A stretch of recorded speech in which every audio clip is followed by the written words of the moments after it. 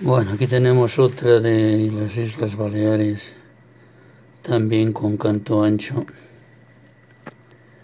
La tenemos cinco pesetas Islas Baleares. Como veréis es como si tuviera doble canto un círculo alrededor del canto. Y la pongo, yo la he puesto como canto ancho pero la verdad es que tiene un círculo ahí sobre saliendo en el canto. Bueno, le voy a dar la vuelta, vamos a verla por la otra cara. Bueno, como veréis aquí pasa lo mismo, el círculo sobresale más de, lo, aquí está bien, sin embargo aquí ya va saliendo, se va haciendo más grande.